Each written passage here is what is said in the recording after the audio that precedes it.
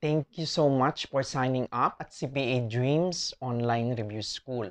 So please, if you haven't done so, go to the link on this video and sign up so you can watch the full version of the video lesson and you can also check the PDF summary and multiple choice questions so you can have a practice.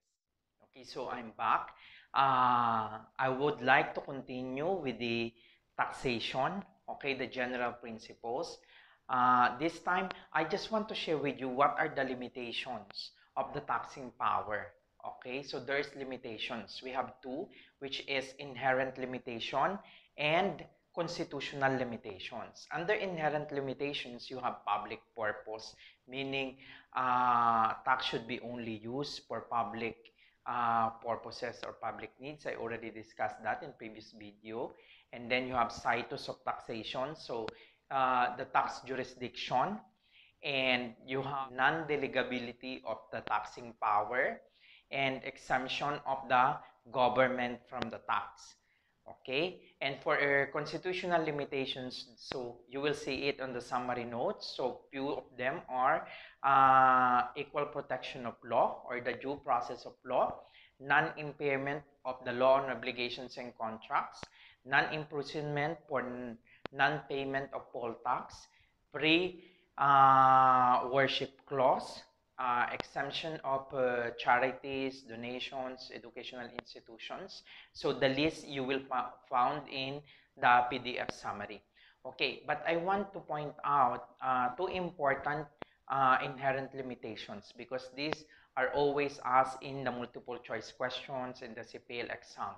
Okay, the situs of taxation. When you say situs, this is place of taxation. So the tax jurisdiction that has the power to levy taxes upon the tax object. For example, uh, business tax. So businesses are subject to tax in the place where the business is conducted. Okay?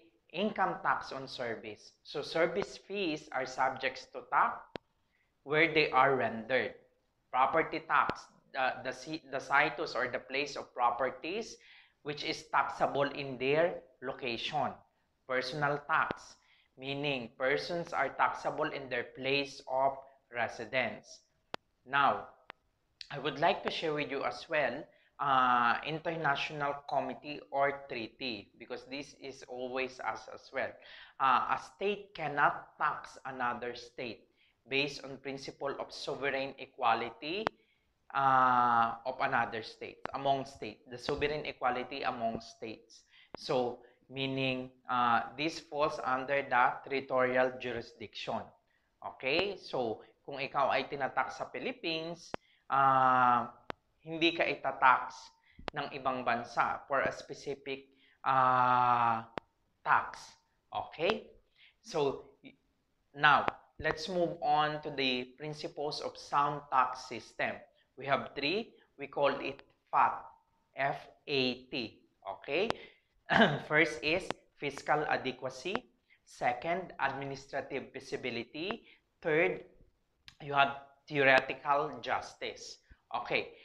For fiscal adequacy, meaning the sources of government revenues must be sufficient uh, to, to meet the government needs, expenditures, and other public needs. Okay, so meaning they are charging really the tax uh, for the purposes that they need these funds to meet every uh, citizens or residents needs. For example, now, like the impact of COVID-19, uh, kailangan ng mas maraming pondo para sa healthcare, para sa COVID testing. So, ang ating tax ay gagamitin para dito. And it will be more than enough. No? Second, administrative feasibility, meaning the tax laws must be convenient, just, effective administration, and free from confusion and uncertainty. So meaning actually in this case, the collection and the payment of the tax will be easy for the taxpayers. It will not create any confusion and also in this case, the interpretation of any tax laws should be easily uh, understood by the taxpayer. Okay? Third, theoretical justice. See, uh, a good tax system must be based on the taxpayer's ability to pay. Okay? That's always like that. So, kaya nga pagka wala kang trabaho, you don't, you don't pay income tax. Okay? So, suggest that taxation must be progressive and conformably with the constitutional mandate that Congress shall evolve the tax system into a progressive system of taxation. So, kaya nagbabago-bago, di ba? So, from NIRC, ngayon meron ng train law as well, as amended. Okay? So, see you again on the next lesson. Thank you so much for watching and listening to this video lesson. If you haven't done so, please click the subscribe button.